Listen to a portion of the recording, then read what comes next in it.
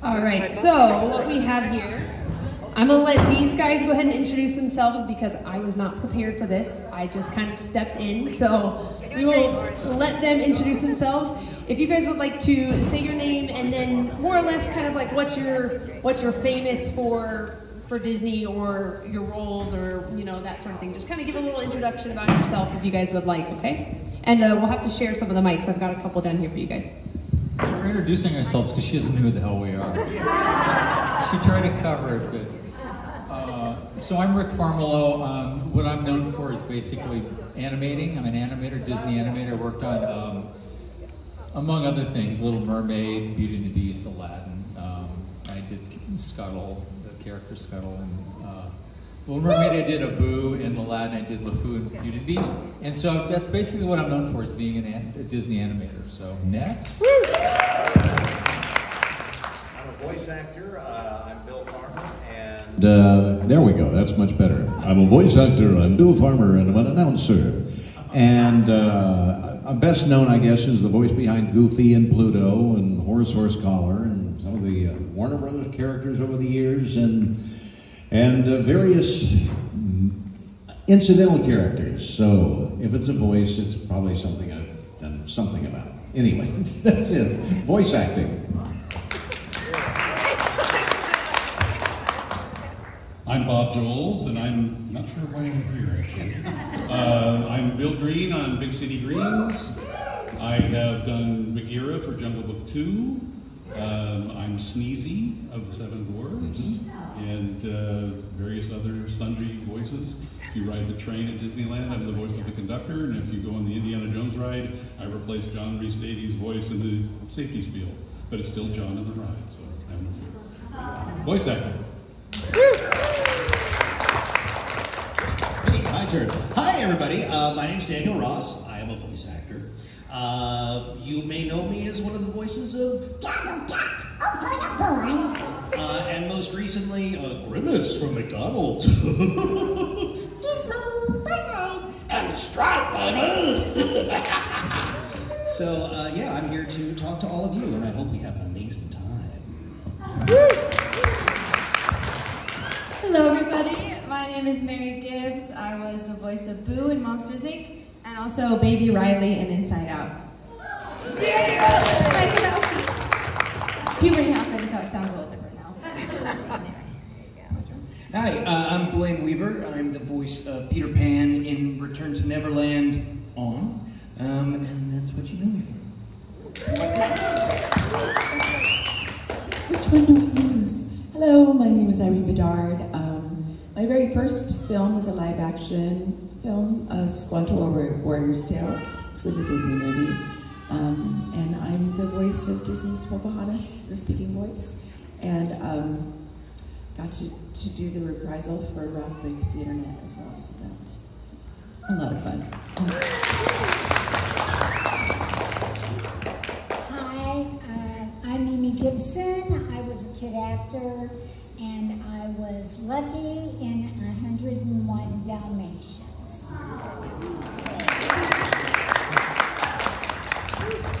I am very excited to have all of you guys here. I hope you guys are excited to be here in uh, Burbank, you know, the uh, current home of the Walt Disney Company down the street, obviously, animation.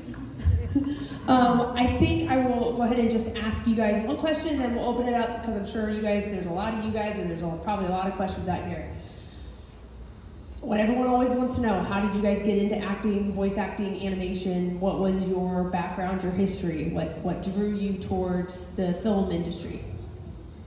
Um, to give you the really short answer, I saw Pinocchio when I was like five years old at the drive-in. Where's the drive-in? And I just was fascinated by what that was, and I wasn't even sure what the hell that was. Like it's it's stuff moving around, but it's it's a lot different than the stuff I'd seen on TV.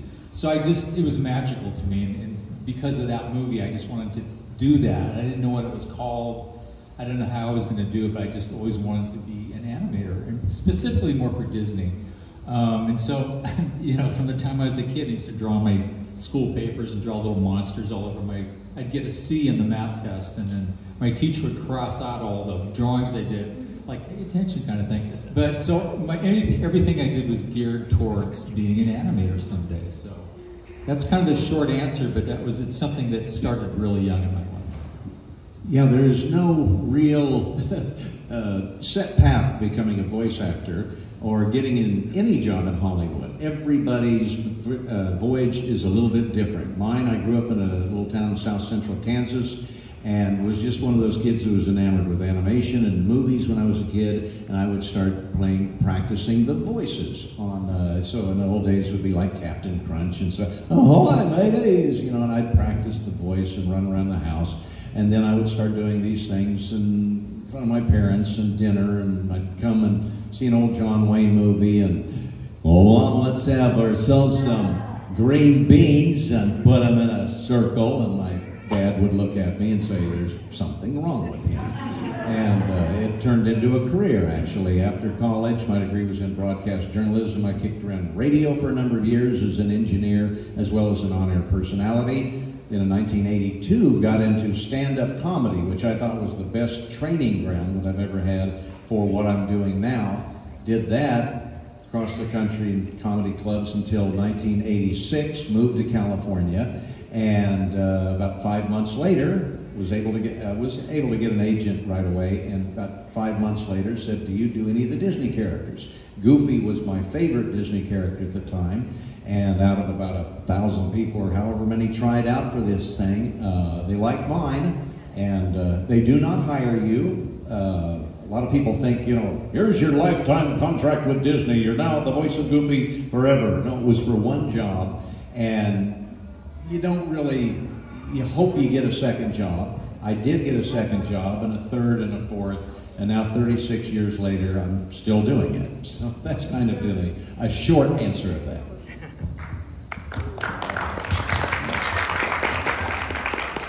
I got into voice acting by being a tuba player.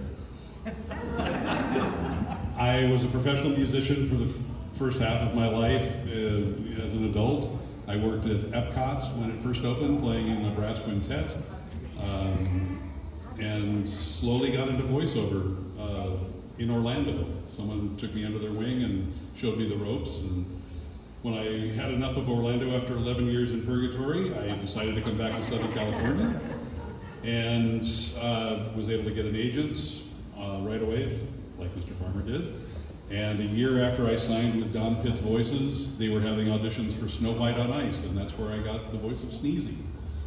And it, one thing led to another, and it just keeps going from there. That was how I got into it. So learn to play the tuba, and you can do what I do. oh boy. Uh, so the very first movie I ever saw in theaters was 1986, The Transformers, the movie. And I don't know what it was, going to a movie theater and being transported to a place and seeing things I may never see, feel things I may never feel, that to me was magic.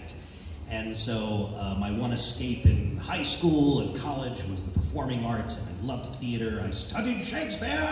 I did all of those things and started making my own uh, films. I started with Ninjas versus Zombies, Ninjas versus Vampires, and Ninjas versus Monsters. Then I moved to California and said, I, I think I want to be a voice actor because I kept getting in lots of trouble doing prank phone calls and other things oh. and annoying my parents to no end. And so uh, came out here to see if I could make something happen, and uh, Donald Duck was one of the first characters uh, that I booked, along with Lucky the Leprechaun, who's magically delicious. and so I'm just here and grateful to be on the stage with this amazing group of people. I need to pinch myself sometimes, so thank you all for having me. Oh, let's see. Well, I'm, I'm sort of famous for Tinkerbell that's me, and uh, a few other things. But how I got started was uh, I was born in 1929. That's a long time ago. I turned 94. I've been in show business since I'm four, and it was I caused the depression. you laugh, but it happened. You went right downhill from there. So, uh, unfortunately, I was in a family. My mother passed away, and they were adopting people out. That's what you did. And there were two nice people who were old enough to be my grandparents who, who had no idea what to do with me, but there I was. except my mother got the idea because it was so hard to make a living for people that she's as cute as a button, let's put her on the screen. We're going to get her into show business. So she started teaching me and, and training me, and I took dancing lessons and all the rest. She got me in central casting, and the first movie that I ever did, I played a fairy in Midsummer Night's Dream. They're still showing it, as a matter of fact, which I think in our gang comedies, anybody see our gang comedies? Well, you're looking at one of the last people that, that worked in it, had a wonderful time, uh, tap dancing and all the other things, and then I realized that I really love to entertain people just like you. That's what we have to do. We love to entertain people. I mean, we'll stand on the corner and entertain people. It's part of us. And although my mother was a Hollywood mother, she was just a, an annoying little mother that drove you nuts, but she wanted me to be somebody. So she kept going and kept going, and I worked with Elizabeth Taylor, I worked with MGM, I did many pictures there, and so on and so forth. And I'm at, uh, at Fox doing another, but I'm getting into television. I loved television much more than motion pictures. But I'm at Fox and I get this call that says, um, they're interviewing for a three and a half inch sprite who doesn't talk. And can you get off work tomorrow? I was assistant dance director. And I said, oh, gee, you know, yes, I can. She says, it's Disney. I said, I'll be there at 6 a.m. And so I interviewed with the wonderful man who brought you uh, Tinkerbell and the Darling family and all the wonderful women, uh, at, all the Disney movies, Marc Davis, who said, uh, when I asked him, what do you want it to be? Do you want to be ditzy, like Betty Boop? Do you want to be above it all, like, uh, say, the Queen of the Fairies? He said, Margaret, we want it to be you. And I said, gosh golly, I think I could do that. and so that's how I got in with this wonderful group at Disney. And that's how, I, and I did lots of radio and all the other things that you did at that time. But I love show business. I've been in it 90 years now. And uh, as I say, I will stop on the sidewalk if somebody has an entertainment. And it's just in you or it isn't, right?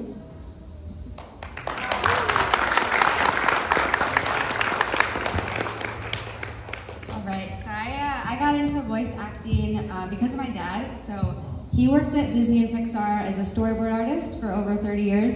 And his first movie um, with Disney was actually Pocahontas, which is kind of cool. Um, and then he went over to Pixar and he was one of the storyboards on Monsters, Inc. And for those of you who don't know, storyboard artists, they work at the earlier, really earlier stages of the movie. So originally they weren't even thinking about voice actors. They just needed a little girl to draw. And my dad was in the right meeting at the right time. And he's like, oh, I have a two and a half year old, let me bring her in. Um, my mom, gotta give her a shout out. She's in the back in the pink shirt over there. Uh, uh, she should, she deserves the credit in the movie as well. Uh, sorry, that's my dog. Um, but she, my mom would put my hair in pigtails and I would play around the studio. So that's why Boo has pigtails. So they were, again, they were just sketching me, a little girl with pigtails playing around the studio. And then as the movie progressed, um, you know, normally they have, often they have um, actual, like adults be kids' voices because they could actually direct them. But it was my dad's studio. I was familiar with the environment. I went to preschool with the director's son. So to me, it was just like hanging out with people that I knew. So, but then they um, decided to bring me to the actual recording studio. They're like, well, we want to use her voice. Let's see how she does in an actual recording studio. My mom thought I was going to freeze up. You know, I'm not a trained actress by any any means. Um, but apparently, I walked in like I owned the place. And uh, they, from two and a half to five years old, they followed me around with a microphone. Uh, they couldn't get me to sit still, so you know, I was just playing around the studio. So for me, I mean, it was you know, I was just playing. I didn't even know what I was doing until I grew up, like got a little older. But um, yeah, just right meeting at the right time um, for me. So that was that was my end, and then yeah, then they reused my voice for Baby Riley, so I didn't have to go in and record. That was all Boo's recordings. Um, so yeah, I was uh, just got luck of the draw for me, and thanks to my dad. So. Yeah. Uh, mine is uh, completely random piece of luck. Uh, I've been in LA uh, acting since I was 18, and you know commercials and guest stars and you know uh, whatever parts I could get. And what we used to do pre-COVID is we'd go and show up at our agent's office and just kind of like uh, say, "Hey, how, remember me?" You know that kind of thing. And uh, so I went into the office to kind of hassle my agent and be like, "Why haven't I had the audition that's going to break me yet?" And um, she just, my agent looked at her desk and said, uh, here, go down the hall and audition for this at the voiceover department. I'd never done a voiceover, I'd never had an audition for the voiceover. But I went over there and they were looking for um, a voice match uh, for the character of Cubby, who's one of the uh, Lost Boys, who uh, in the original movie was an adult voice that sounded a lot like Goofy to me, I'm just saying. Um, and uh, I can't really do that. I tip my hat to you. But I'm like, I had seen Peter Pan so many times, it was my favorite movie growing up, and I'm well, I can't do this, but I could do Peter. Have you cast that yet? And they're like, no, whatever, just do it and get out of here. Uh, so I did it, and I left, and I'm like, well, that was random. And about six weeks later, the voiceover department at my agency calls me and says, do we represent you? How, how did you go on tape up for this? And I'm like, oh, well, my agent, you know, pushed me off on you. Uh, but you don't. I'm in the theatrical department. And uh, they're like, well, Disney wants to see you. So uh, I ended up booking the first voiceover I ever went out for, and it's pretty much been the only voiceover I've I've continued in the uh, straight acting kind of world, but it's uh, the only one, and uh, I love it. It's such a great part, and I get to hang out with her and uh, all of these iconic people, and I'm just lucky to be here.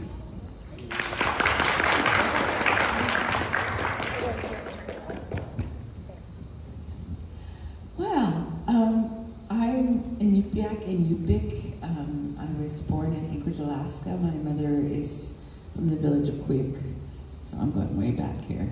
It's what we do as, as Indigenous people. We, we recognize where, uh, that we are the love of a thousand ancestors, as Maya Angelou says. Anyway, and my father got stationed up in Alaska and he was Métis Cree. So it wasn't even in my real house of thought. I went my entire family is military. Um, and I went to school for physics and, you know, science, math, you know. I was really, uh, physics and philosophy. I was really, really um, okay at math, basically, and I loved, loved thinking about the universe.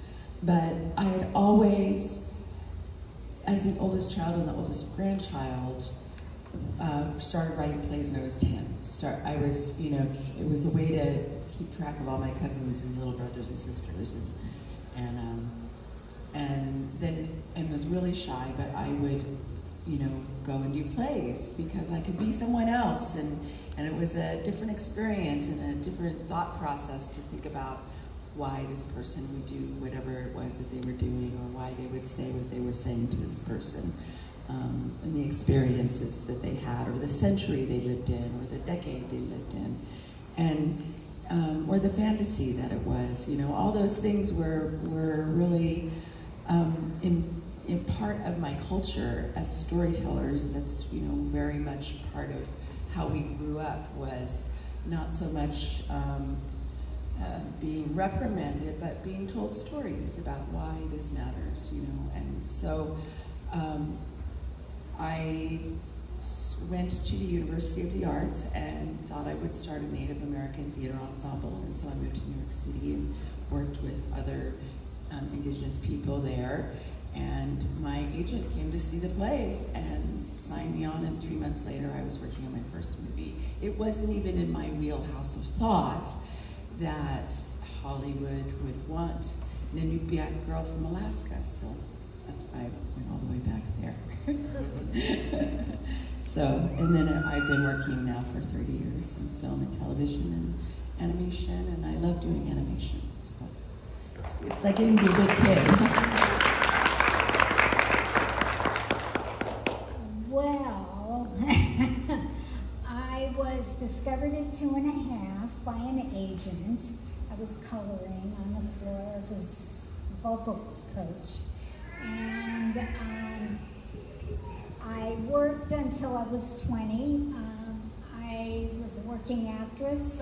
I did 34 movies and a couple hundred TV shows, and it was the golden age of television. It was a very exciting time, especially for live television. Live television was wonderful because you had to know your lines, you had to go to your mark, you had to do everything professionally just like the adults. Couldn't goof off, you had to do your job. And uh, I went on interviews all the time and uh, Disney called up and they wanted to see a bunch of kids that could do a little British accent and to play puppies. And so I was one of five kids chosen, and I was lucky. I got to be lucky.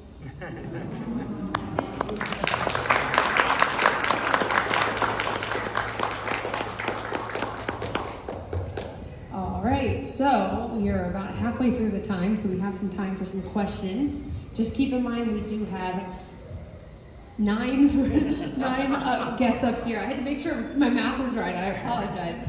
um, nine guests up here. So, uh, does anyone have a question for anyone up here? None at all. All these Disney fans. No one has a question. All right, all right. Can, can everybody hear me? Yes. Wow. So my voice is that loud. um, I guess it's for all of you. Um, obviously, you have been at, at, the studio for a long time and it's celebrating its 100th anniversary.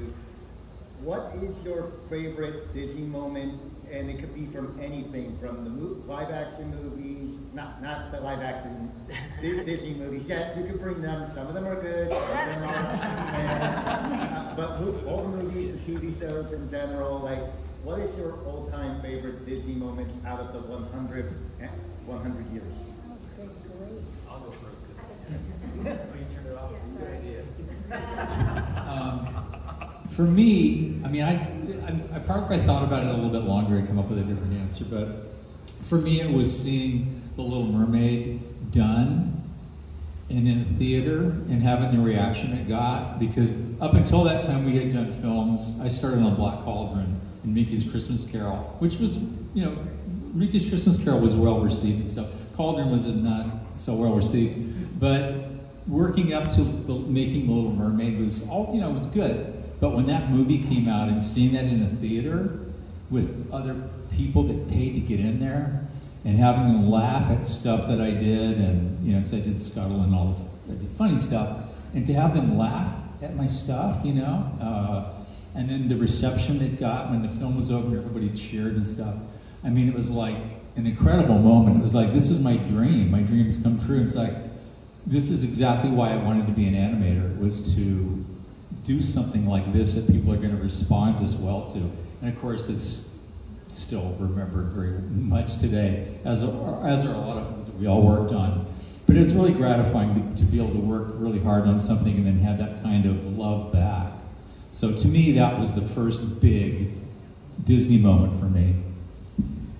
Yeah, there's so many uh, moments over the years, it's almost impossible to put one above the others, but there are some that kind of jump out at me. Obviously, seeing like a goofy movie in a theater with an actual audience, enjoying the work that you've done is a big thrill. Prince and the Paupers, first time I had one of my characters on the big screen, and that was a, a big thrill.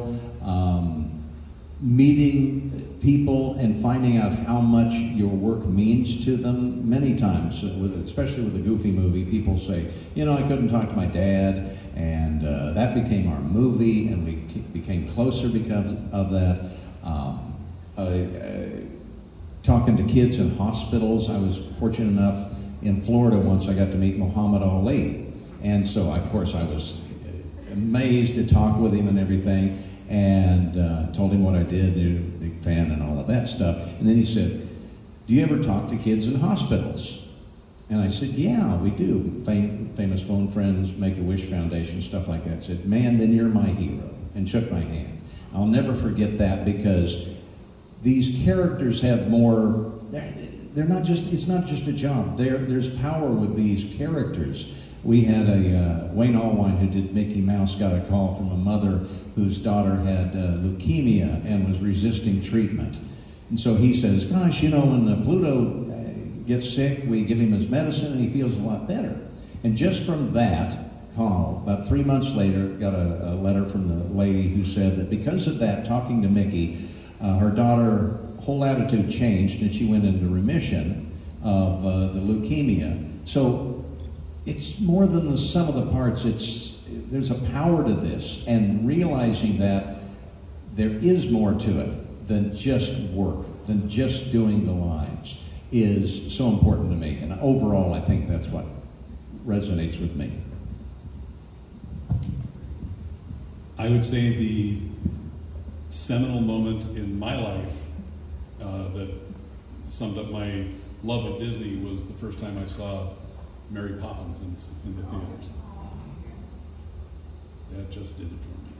And then the year after that, seeing Jungle Book. And little knowing that several years later I would get to meet Bagheera. But I just, I, those are those are two of my favorite movies, but of course my absolute favorite is Snow White and the Seven Dwarfs. And my good friend uh, Sleepy over here. oh boy. Um, I think on repeat I had Bedknobs and Broomsticks, Robin Hood. Uh, those were some of my favorites. Uh, my, I give a lot of credit to my late mother, who was just a creative bundle of joy. And she was an artist, she would draw, sketch, sculpt, and every day I would come home from school, there was something new for me to see. And she encouraged my silliness and uh, to be ridiculous with my voices. And uh, at one point, uh, she had been diagnosed with cancer, and that sparkle in her eye had dissipated, and she wasn't able to create. And it was a part of me that was, uh, there was a void that was left uh, when she was dealing with that. And so when the good news came that I was going to be voicing Donald Duck, um, she taught me how to do that voice when I was three years old. And so I got to fly her out to California, take her to the studios, take her to where they uh, make the cartoons and where they draw it all together, and that sparkle came back. And to me, that was a moment of true Disney magic because it had nothing to do necessarily with the characters, but the environment and what Walt created for the world. And so to be a tiny piece of that and to transfer that joy to other people, it's not about me. It's about the character that they love. And when they hear that voice uh, of that cantankerous quacker, that feisty fella, it just stirs such joy, and I am grateful to be a part of it.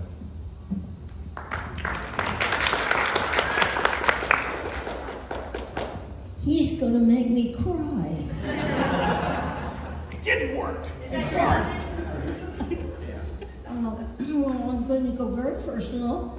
The, the, the biggest moment of my life uh, of, of, Disney was um, after I had been told that we were going to have a shoot on such and such a day and go to get your hair all done up, which I did. They did for Tinkerbell, and get into your one-piece bathing suit with your cover up and now you're walking to stage one.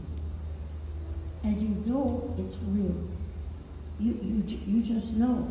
Uh, all this is all, all the fluff that's going on. So uh, I walk in, and uh, I think Marc Davis walked with me. We went into the, what we were going to do and how we were going to do it. And then uh, I think I just told you the story when, when he said, when he said, what he wanted to be, and he said, Barbara, we wanted to be you. I mean, I soared. I soared. That's the only word. I could do that. So we were in the middle of doing this the first time, and a whole group of people walked in. Uh, we had the door open, the huge door that let trucks in and out, because I had no dialogue. I remember I was the silent one. And this group walked in, and Buddy Ebsen is leading the group. We couldn't miss him. And over at the side wall, there had been these risers that were sitting there that you could step up on, smaller ones, and then there were line drawings on the wall. There's a picture of it in my book if you ever get a chance to see that. And so these men are standing around, we're talking about it, they're trying this, they're trying that, and then they figure it out, and they all go away except one man. And he comes over to see Marc Davis and I think his name was Walter E. Disney. Well, I had been trained all of my life to never uh, uh, if you saw a head of a studio, you curtsied and you ran around and hid because you never, that was no, no, no, he had the, everything. He had, and here this man walks over to me and I'm, I'm looking at the head of the studio. I was not used to that. I was dumbfounded. I couldn't talk. He was so nice. He chatted with us. He was checking what Marc was doing and how the scene was going and what the props were. And he's good friends with the cameraman. And they were chatting for a while. Jerry Geronimi, an Uber director for the movie, they were chatting. They kept trying to bring me into the conversation. I'm going the whole time. And, uh, and then he left. And I thought, the head of the studio. Well, the third time that he came over after working on the wall, so, and why was he working on the wall and I was working on the main part of the sound stage? Because at that moment, Disney only had one sound stage. That was it. So the uh, about the third time he came over, and he walked up and said to me, I understand that you go to school with my daughters. And I was, uh, uh, I, uh, I've never get caught without something to say in my life. and it was true. I went to a girls' school because I could get permit to get out and work. You couldn't do this at a, a public school. And I said, yes, it, uh, there, there was an upper grade, a lower grade. And then I'm, I'm still dumbfounded. And he stepped away, excuse me, I and he said, I think they must have liked you. Or something like that that was so, but, and he, he came over another time. But I realized, I got to know them, that this man, you could walk up to him any time, you could talk to him any time, and all the rules that were all of the other uh, studios, which were, I mean, they were heavy laden rules. Didn't happen at Disney. Everybody talked, everybody smiled, everybody take you wherever. If you were lost, it was a tiny place. And that, but that one time, the first time he, he came over and talked, and he was slim and trim, and I thought, oh, the head of the studio looks like that. And then the third time, the head of the studio looks like Walt Disney. Oh, oh, he is Walt Disney. so that's the time that stands out in my mind.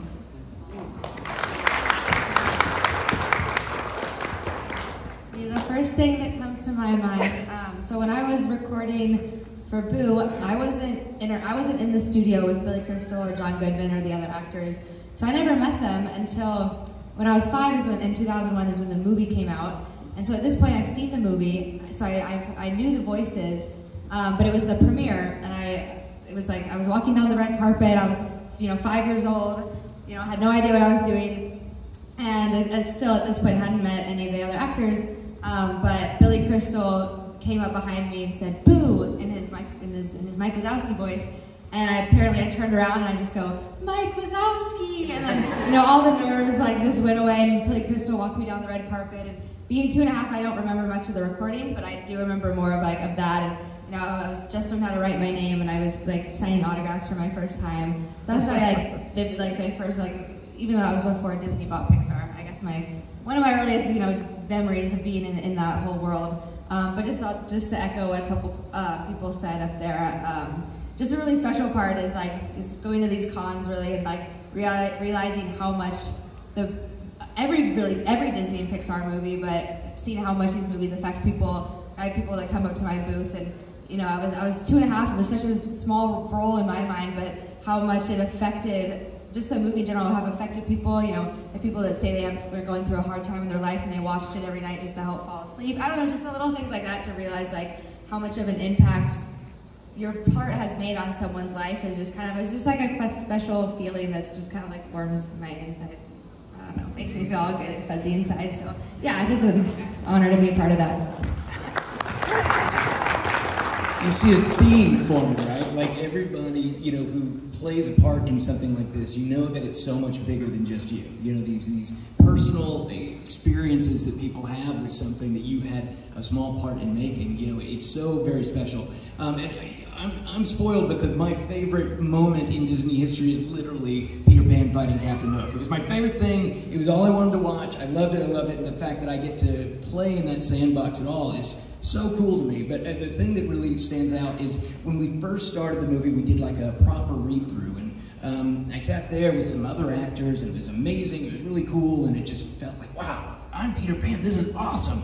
And then very quickly afterwards, they basically replaced everybody but me and Captain Hook. And I was like, okay, no way am I going to be in this movie. Like, I'm absolutely sure they're going to replace me with Michael J. Fox at some point. And, you know, I, so I'm just going to ride it. I'm just going to ride and have fun and, you know, doing my other things, writing screenplays and doing film festivals and doing all this other stuff. And then being like, oh, I get to go uh, swashbuckle today. To go fly. I get to, you know, um, be Peter Pan. Uh, so uh, my moment that really stands out to me is I was back home, and it, this went on for two or three years of you know making the film and rewriting. It's going to go straight to video. No, it's not. It's going to go to theater. So we have to change everything. So it just kept going. And again, the whole time I'm like, no way am I in this movie. But I love that I get to go in. And I was back home in Bossier City, Louisiana, the Mall Theater, and I went in to watch a movie with some friends while I was home for the holidays. And the trailer came on and it was me. And I'm like, whoa, okay, it's real now, you know? And it was uh, just this great moment. And uh, every time I get to go back and do it, I just feel so lucky. Yeah.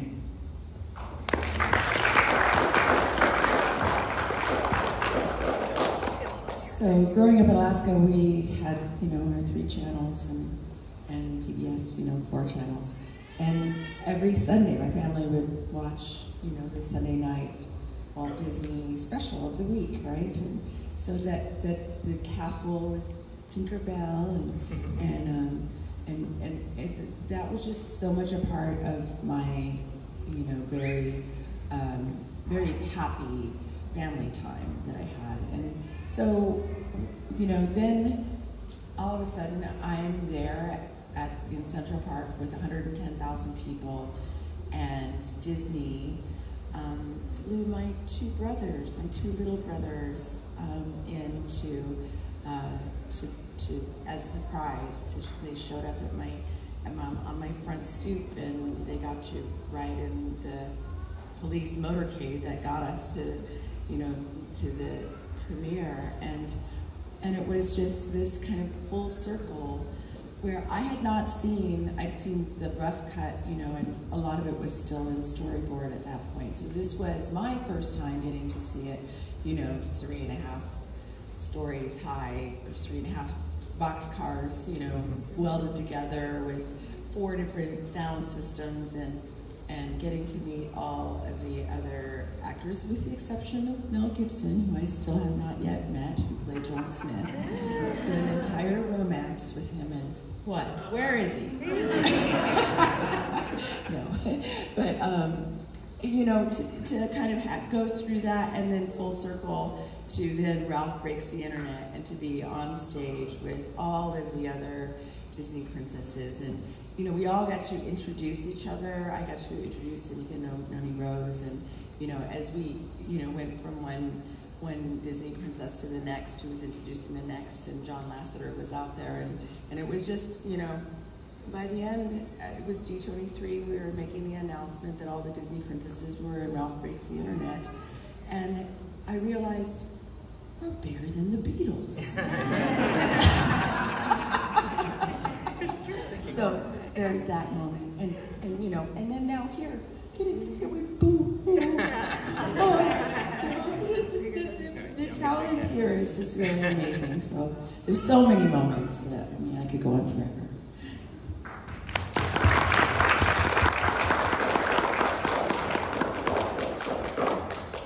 Well, I'm going to talk about being an audience member and watching Fantasia for the first time when I was young. And that changed my whole outlook of what a cartoon was and what a cartoon could be. And that's the movie that inspired me because it was so clever and so beautiful and they did so many interesting things in that movie and that's what made me really, really appreciate Disney. Although I love Bambi and Snow White and everything else because why not? But um, that movie to me was groundbreaking and I loved it. I took my kids. They had a special showing at the Grauman's Chinese and I took my kids to see it because I thought it was important to see cartoons done in a different way. And that's me. All right. I think we have time for one more question. Yes. So I mean, I know y'all, I know, I mean, I know you all already said what your favorite Disney moments and memories are, but what do you all personally feel that the legacy of Disney and voice actors and actors in Disney has meant? Can you say the, ending part one more time? What, what do you all feel that the legacy of Disney and voice actors and actresses in Disney? Well, I'm not a voice actor, so I'll answer it a different way. To me, the thing we should never lose sight of is it was started by a guy named Walt Disney, and I think a lot of that's the things that are happening today are kind of not Walt Disney. You know, they're kind of coming from a different place. But as a kid growing up and seeing Walt Disney every single Sunday night, and thinking thinking of him as like an uncle, like a relative, I think was really special to a lot of us growing up who wanted to be Disney animators. So to me, I think the most important thing is to remember remember Walt and what he stood for. And I think Disney needs to carry that on. It's very important that we keep keep that in mind. You know that was that Walt started it, and he can never he should never be forgotten.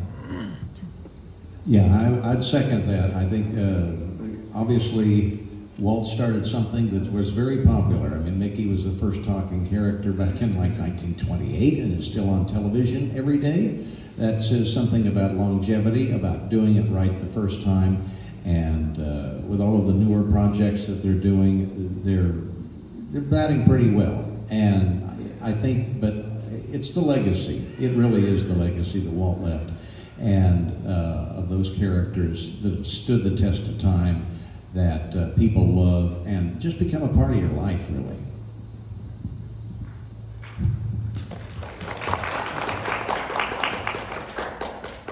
I think the legacy of voice actors is going to be presented in a very good light next Sunday night on ABC with Once Upon a Studio. Simply because there are there is archival footage of voice actors, you know, that are used in it, and then there are people that are still doing the same voice that they created for other films, and then people like me, I got the honor of being Cogsworth. It, the voice acting will always go on. There is somebody that can do these voices. Daniel can do Donald Duck. Bill can imitate Pinto Colvig and do a great Goofy. I've done a few of those myself, but this is one of the singular greatest honors of my life, getting to do Cogsworth.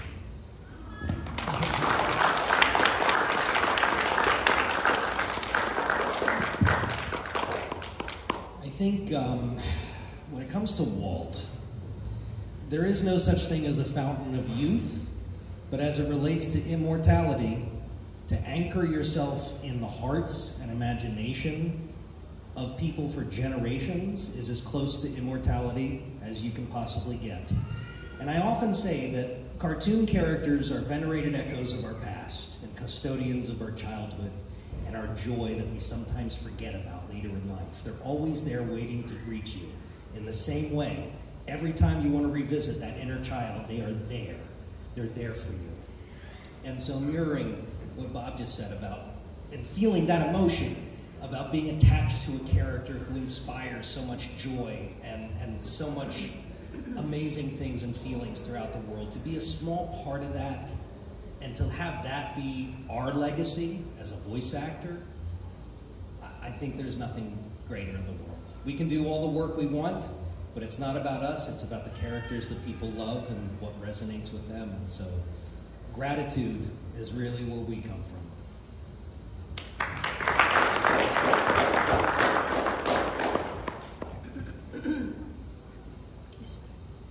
Well, I'm going to build on just what you said. Didn't make you cry. I'll make you cry while I'm telling a story. because um, this is a, just a, short, a story. I'm sorry. oh, oh, mama. There we go. Uh, this is a that tells you how far all of the things that, that they have done uh, have reached out into the world.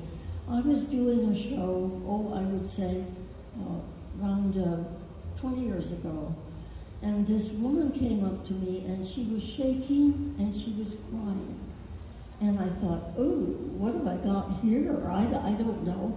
And she finally reached out and took my hand. Now, this is a young lady, I would say 37 years old, very trim, looking nice. And she said, I never thought that I could say thank you to the uh, character that saved my life. Now, this is one of three that's happened. And I said, what? And I figured by that time, you know, call the guards. but no, she had her 12-year-old daughter with her who showed this picture of her when she weighed almost 300 pounds. She had had both knees operated on. I forgot one. So she was in a wheelchair. She had given up. She really had, she said. And, uh, but she thought, who thinks happy thoughts? And she thought, Tinkerbell. I have loved her all my life. So she had Tinkerbell tattooed on her leg. And every time that she thought an unhappy thought, she would look at her leg and say, no, happy thoughts. And her daughter said, that is what brought her through that terrible time.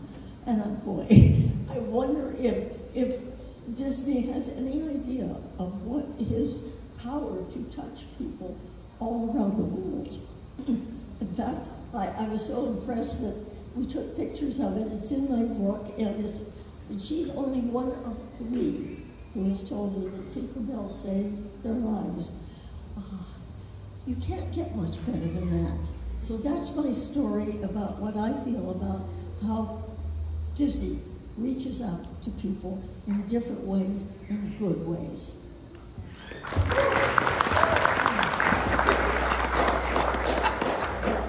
Kind of going off what, Margaret was saying, it's just um, Disney movies, especially. I mean, they're just full of so much joy and hope, and there's always a happy ending, you know. And I think like that's important to hold on to in like this world that you know we've all been through.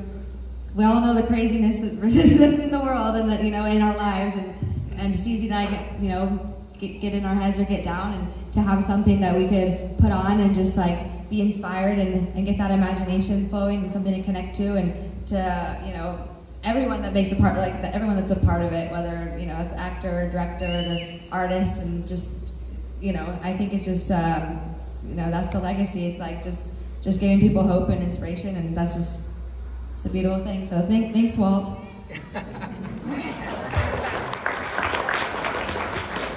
Uh, yeah, I second everything that's said about the legacy. Obviously, that is uh, very important to everybody that's up on the stage. But I just wanted to touch real quick on the voiceover artist. You know, uh, I, I, love actors. Uh, I just, I really do. I direct a lot.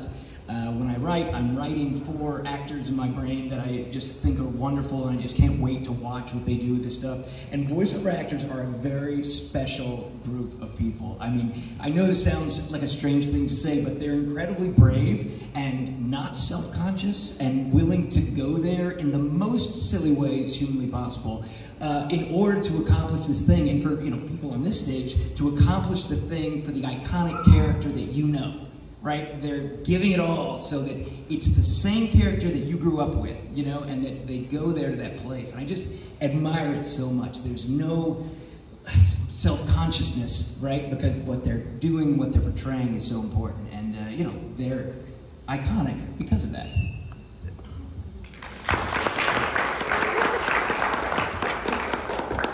Well, I, I know that when I first was offered this role, that was the first thing that came through my mind was, you know, again, that time of being with family and that legacy that it had kind of brought to me of a, a, a warmth and a comfort and joy and a feeling like, you know, there's there's good in humankind. And humans can be kind and all of those things that I think that um, really uh, uh, that Walt that was able to shine a light on, on as us as humans and storytellers. And I just think that, you know, when I when I when I took this role, I understood that it was part of a legacy, a great legacy that you know you could only hope that you might be able to live up to in some way, shape, or form. And and the and as far as like voice acting and that, um, it, you know, basically we're just a bunch of big kids. We it's all about your imagination, and you get to just live in that space of between you know, this world and the next, and and and the, any world you can imagine, you know, and, and that that spark of imagination and creativity is really the true legacy. I think that Walt Disney was able to give, you know, generations, and still does.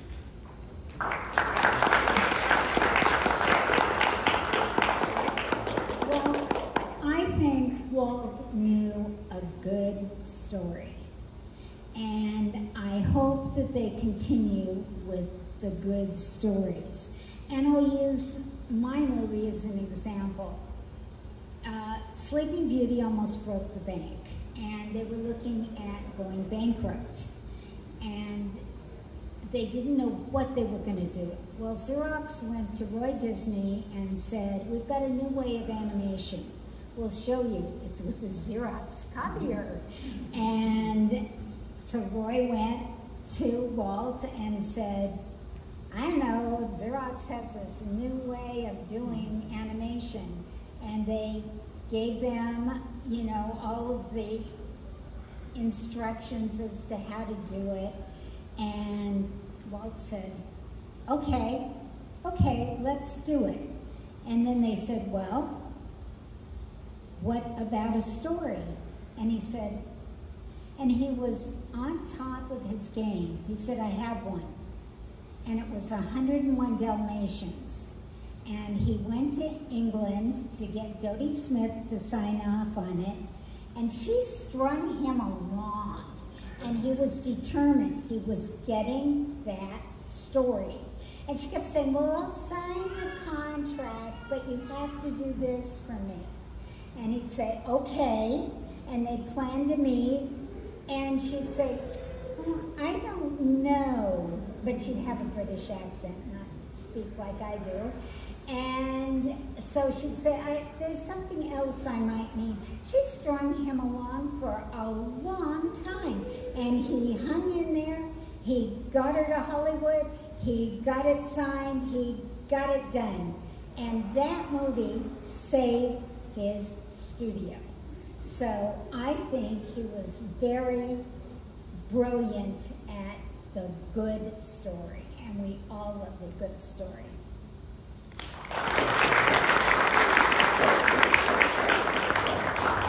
The last thing I just want to leave all of you guys with, um, briefly related to the legacy of Disney um, and just appreciation for everything that you guys do and have done for Disney and fans and from all of us. Um, I was a character host at Disneyland for about four years. I just recently transitioned. Um, my favorite thing about being a character host was engaging in the stories with the characters, the stories that you guys have all helped create. Seeing the faces of these little kids that they have absolutely no idea who I am, but as soon as they see Mickey Mouse, as soon as they see Goofy, as soon as they see Peter Pan at the parks, they're running up and they're calling their name. They're running with their arms wide open. They're, they're engaging in them with the story. They're engaging in that character's story and that life because that has a meaning to them with whatever happened in their life at the time of seeing that story. And I may not have been a part of the film, but I get to, I got to live that with those kids in the parks, with the characters that you guys helped create and tell their stories. So I'm sure a lot of these front guys here have also been in the parks and have met those characters and have also shared in that um, with remembering their childhood and those magic memories from the movies and, and characters that you guys helped tell. So um, thank you again for that. Thank you for being a part of that legacy. I'm sure this comes from everyone um, and anyone here out from here on out in the future that, you know, these characters are going to continue to live on in whatever story is, is chosen to be, be told with them. So thank you once again, and thank you everyone for coming to the panel. And uh, give a big round of applause for our uh, Disney guests here. Thank you everyone for attending today.